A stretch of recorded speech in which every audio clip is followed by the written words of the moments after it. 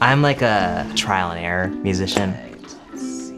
Psychedelic soul. Yeah, that's like my favorite kind of music. You got that honeycomb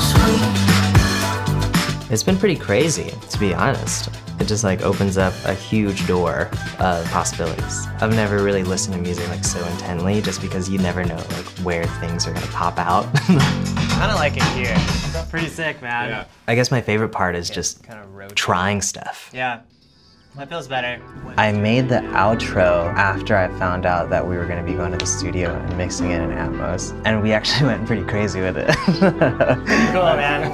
I love it. like a kid on a playground where I'm just like, yeah, can we uh, throw these birds like over here and can we throw this guitar over there? And it's just like mind blowing. I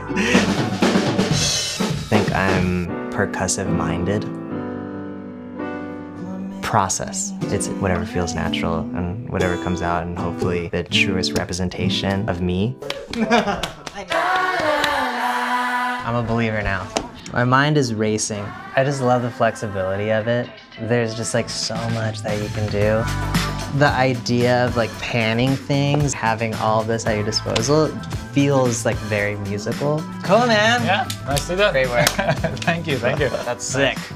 I love that. That ending, it like worked out really nicely yeah, I agree. Yeah. It's like a spiritual experience. exactly.